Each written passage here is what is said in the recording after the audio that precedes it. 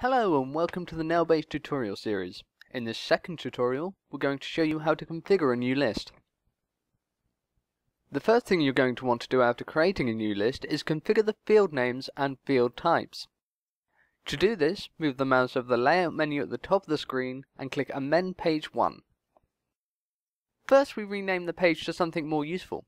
We're creating a music list, so for this example we're going to enter album information. On our album information page, we want to store the artist name for this particular album.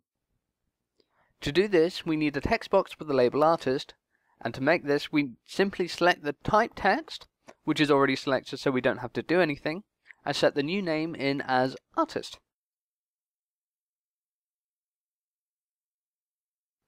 Our second field is going to be album name, which we're going to make using exactly the same procedure.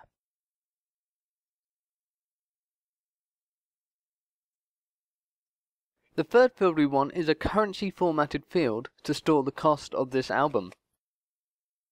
To do this, we click on the type field and click currency. We then set the field name to something appropriate, such as album cost.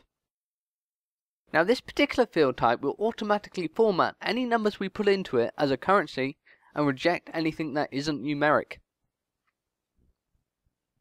Our next field type is URL, which creates a text box with an associated button that will allow us to make hyperlinks to external pages. We will use this field type to store the band's website. If you have the standard or professional version of NeLBase, you have the further option of using drop-down lists, which allow you to make a comma-separated list of items that you want to be able to pick from. To do this, start by selecting Add your list from the Type menu.